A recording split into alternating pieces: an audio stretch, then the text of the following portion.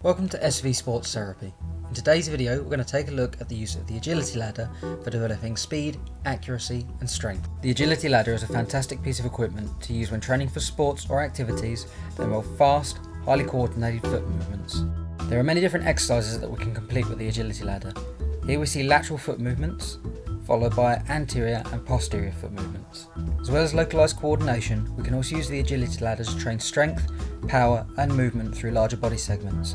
This includes during rotational and larger lateral motions as seen here.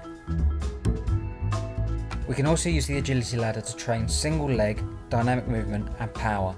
This will naturally include both takeoff and landing phases and can occur antero-posteriorly or laterally as seen here.